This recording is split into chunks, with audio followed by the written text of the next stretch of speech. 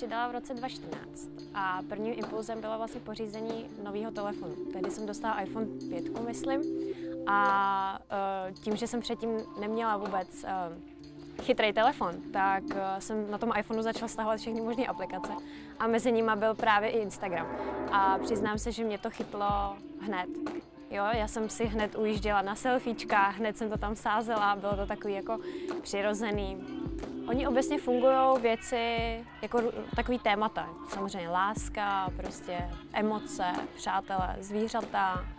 A já si myslím, že u mě to není výjimkou. Takže jakmile tam vidíte tady ty věci, tak většinou je to taková jako záruka úspěchu. Že to máte hodně těch lajků a je to úspěšný. Já mám díky bohu spolupráci s Tezenisem, což je značka spodního prádla a s ním vlastně spolupracuju od začátku. To znamená, že já jsem se tady těm fotkám, jak říkáš ty, tou naho, té nahotě vůbec jako nevyhla. Ale pro mě to je přirozený.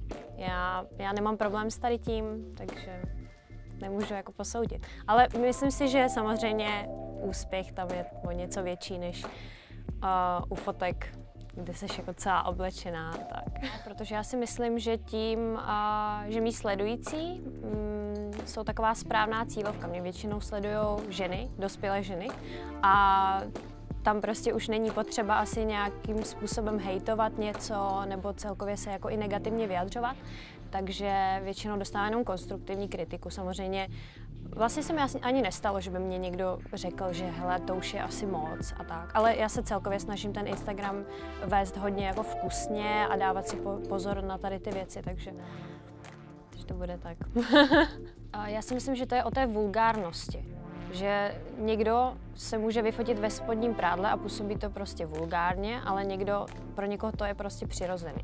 Já se na většině fotek prostě směju, je to takový, je to prostě přirozenější, takže si myslím, že tam ani fakt není důvod uh, k žádným jako pochybnostem o tom. Já si myslím, že ze svého soukromí zveřejňuju hodně, že vlastně lidi fakt vědí, kde se nacházím, co zrovna dělám a tak.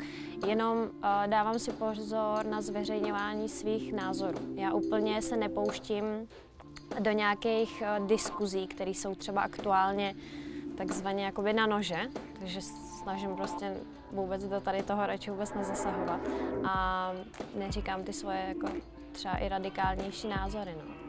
Takže tam možná, jak ty mluvíš o tom soukromí, tak to je to, co si nechávám pro sebe. Určitě pravidelnost, to si myslím, že ano, to i ten Instagram jako takový tak to vyhodnocuje. Má nějakým způsobem algoritmus, který podporuje tu pravidelnost a dát si záležet na nějakým tom estetickém cítění, ale myslím si, že je dobrý mít i osobitý styl.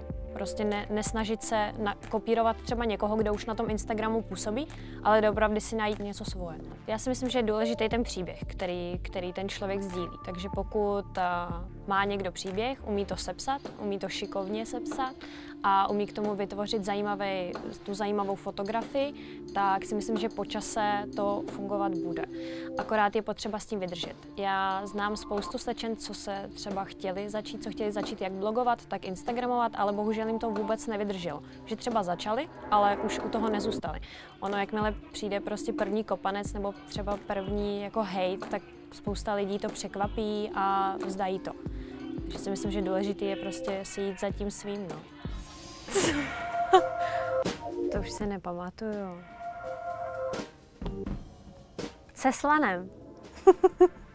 to zkus trošku dlhší, to je moc krátké. uh, byl z Bali ze sloní rezervace. Snažila bych se ho nějak získat zpět. Věřím, že v tady té době už to dá.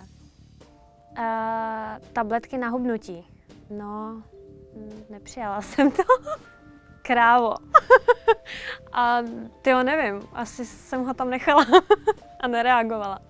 Upřímně, ten člověk jako sledující má vždycky možnost uh, si přeci vybrat to, to, co sleduje. Pokud ti je nepříjemný někoho sledovat, tak ho prostě nesleduj. Pokud tam má hodně reklamy a je prostě nerelevantní, je špatná, je blbě podaná, tak to prostě nesleduj. A myslím si, že mě sledují lidi, kteří, kteří se doopravdy chtějí inspirovat. Tak marketing tady vždycky byl a vždycky tady bude, akorát teď je prostě na tom Instagramu.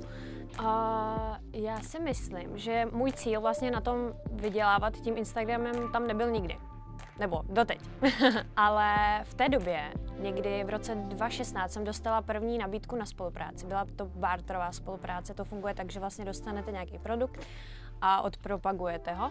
A tehdy vlastně jsem byla strašně šťastná, že něco takového jako přišlo a postupně se to začalo nějak jako valit, nejspíš protože se to stalo tady jako mm, marketingovým trendem a až vlastně po roce třeba mi došlo, že by z toho mohlo něco být a vlastně v roce, v roce 2017 už jsem měla živnosták a teď se tím živím. Jsem full-time blogerka, nazývám to takto. Když se tím chceš eh, živit, tak musíš tomu přizpůsobit celý svůj den. Musíš doopravdy fakt plánovat ten content, musíš denně fotit, denně vytvářet ty příspěvky, denně se věnovat eh, blogu, eh, i určitě takovým těm ad, administrativním věcem, jako je odepisování na e-maily, schůzky pracovní. Už je to fakt prostě, zabírá to hodně času a proto to mám prostě už na full time.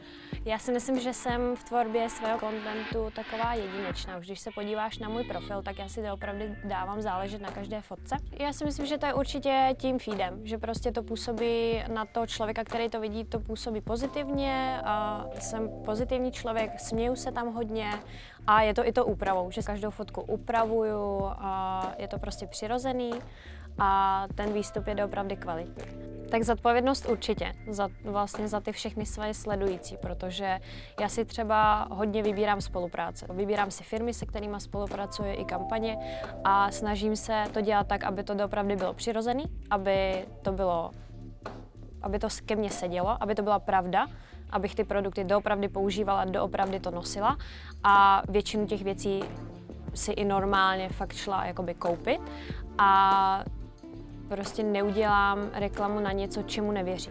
Tady si myslím, že určitý, určitá ta zodpovědnost je vůči tomu sledujícímu.